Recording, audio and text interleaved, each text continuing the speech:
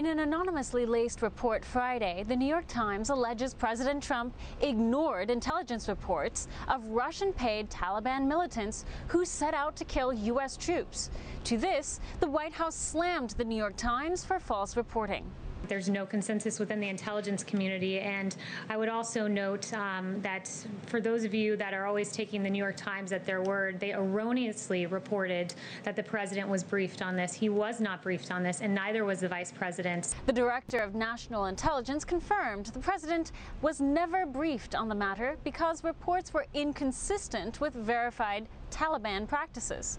Saber Nasseri, an Afghani subject matter expert and interpreter for U.S. coalition forces against the Taliban, tells One American News while it is possible a deal was made between Moscow and the Taliban against U.S. forces, there's no telling for certain.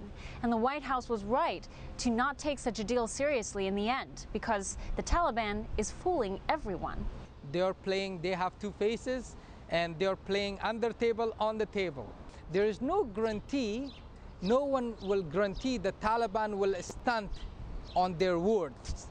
So they said something and they will play something else. Adding to the speculation, a deal was made between Moscow and the Taliban. In 2019, Taliban leadership traveled to Moscow for several meetings. Nasseri says this was highly unusual. It is unusual, and I think there is a big connection between Taliban and Moscow. A connection made possible by former Afghani President Hamid Karzai and Pakistan. Mr. Hamid Karzai went to uh, Moscow many times. You know, the Taliban was too weak, very weak. Who made Taliban powerful? Hamid Karzai. These Moscow rendezvous, says Nasseri, were coordinated by Pakistan and Karzai. Nasseri says the Pakistani role in all this is the real scandal, not an unverified agreement pushed by New York Times.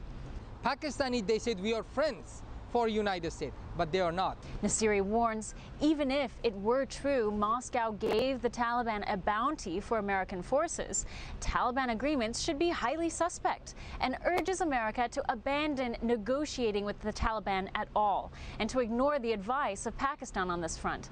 Taliban is weak. America should treat it as such.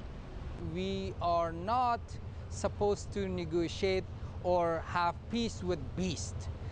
Taliban, they are beasts, they are animals. They are not, they will never have uh, friendship with United States or with any countries. Maybe they have under table connection with um, uh, Russia. Of course, uh, uh Mr. Hamid Karzai, that he had many trips to uh, Moscow in 2019, right. and, uh, and they connect Taliban with uh, Russia, with Moscow.